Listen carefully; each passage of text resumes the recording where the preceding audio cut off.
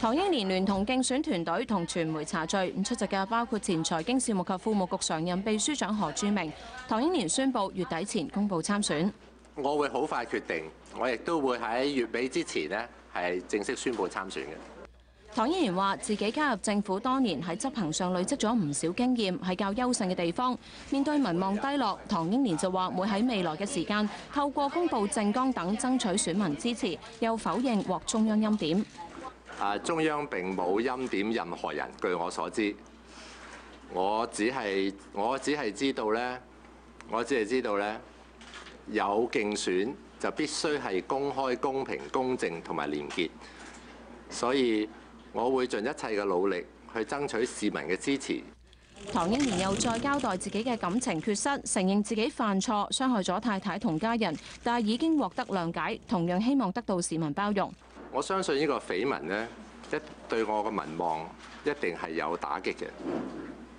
我接受呢個打擊。唐英年喺茶敘中多次提到未來嘅領袖需要有願景，並且有理念相同嘅團隊去推行相關嘅行動綱領，再透過溝通令市民接受同明白。梁振英係喺下晝透過助理發表聲明，話將會喺今個月二十七號正式宣布參加明年三月行政長官選舉。有關詳情稍後再通知。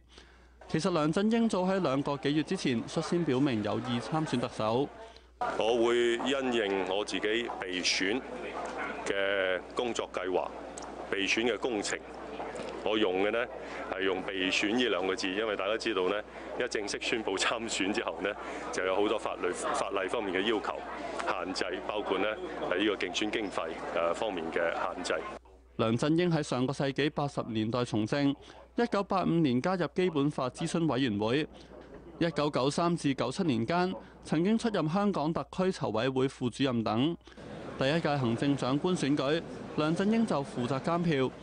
當時已經有人問佢對特首嘅崗位有冇興趣。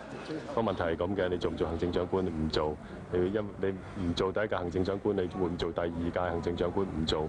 如果誒新民界朋友，包括今日在在場嘅新民界朋友，繼續問到第三、四至到 N 屆呢，個答案係一樣嘅。回歸之後，梁振英出任行政會議召集人。近年對於係咪參選特首，慢慢轉口風，又落區接觸市民。